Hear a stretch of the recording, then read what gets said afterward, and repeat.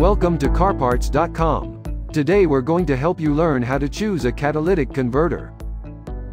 First, look for the emissions label to determine your vehicle's emissions compliance level.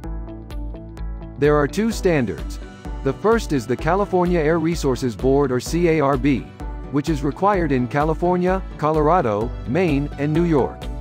Cars that are bought, registered, and used in California, Colorado, Maine, and New York must have CARB certified catalytic converters.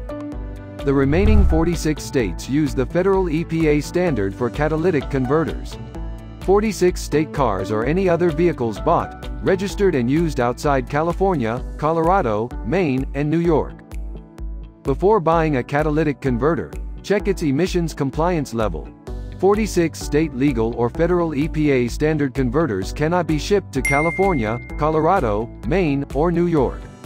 If your vehicle was originally purchased in one of these states, regardless of where you live, a 46 state legal or federal EPA standard converter will not be compatible with your car. Next, think about the type. Direct fit catalytic converters are designed to replace your original converter without any modifications.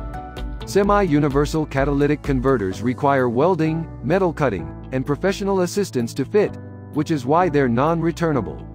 Whichever type you decide to purchase, make sure to select a converter that's compatible with your vehicle and follows state regulations.